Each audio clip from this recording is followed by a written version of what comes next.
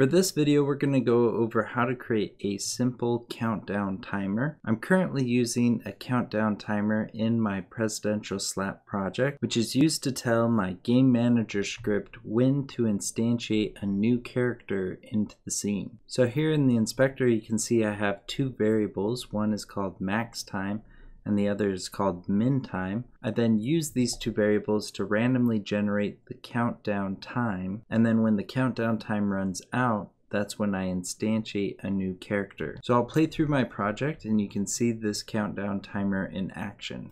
And so as you can see, between every one to three seconds, I have a new character instantiate into my scene.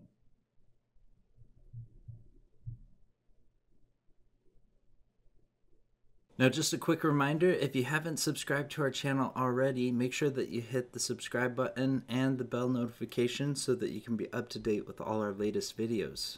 Alright, so now let me show you how to create this simple countdown timer. So to get started, there's three variables that you'll need for your countdown timer. The first two are float fields, which I've made serialized fields in the inspector.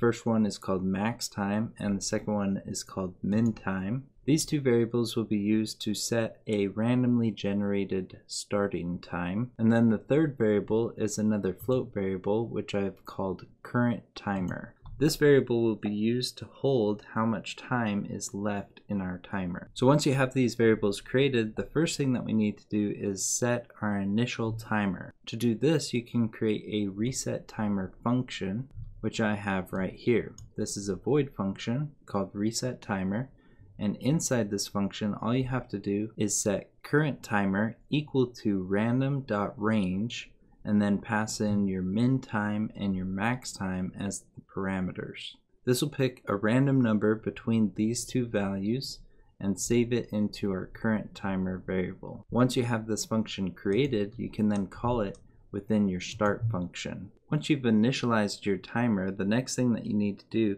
is start the countdown and this can be done within the update function. And all you have to do to begin your countdown is take your current timer variable and do a minus equals time dot delta time. Time dot delta time is used to tell the time between the current frame and the previous frame of your update function. So subtracting time dot delta time from your current timer will reduce the value of your current timer variable at the rate of actual time. Now at this point there's a lot that you can do with this countdown timer.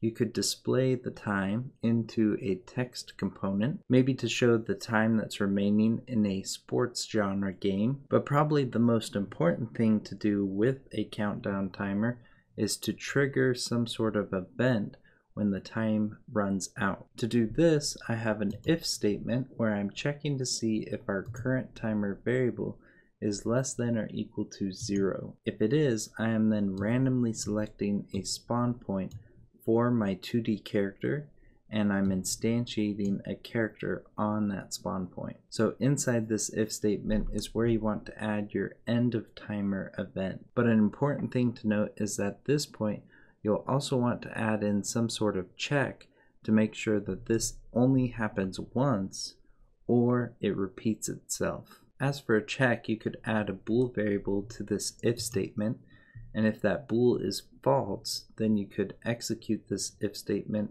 in which you would want to set that bool to then true. But for my example, I want this timer to reset, making a looping timer. And so all I have to do is call my reset timer function.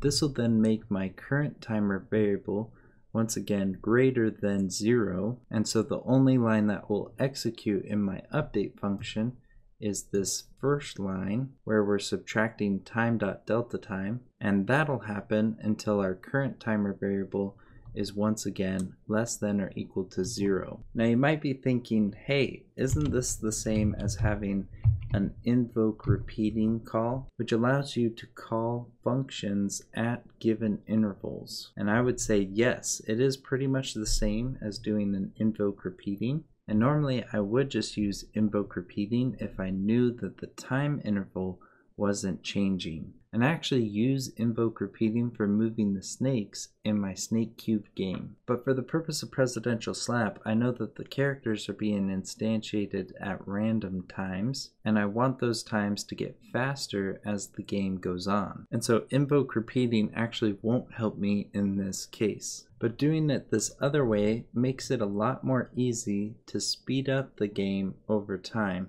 All I have to do is decrease the values of my min time and my max time variables. So let's go back to Unity and I'll play through my project one more time. Alright, so here you can see that I'm instantiating my characters into the scene every one to three seconds.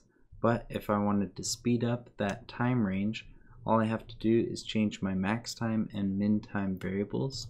And so I'm just going to set them both to zero. And now you can see that the characters are just flying into my scene. And I'm going to stop this before it crashes Unity. And so there is how to create a simple countdown timer for your Unity games. Now I hope you enjoyed this video. If you did, make sure that you give it a thumbs up. If you have any questions, leave them in the comments below. If you'd like access to the code that we've covered in this tutorial, then make sure that you go to our website and sign up to become a supporter.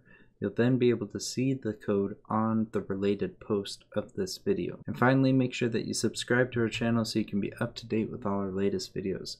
Thanks for watching, and we'll see you next time.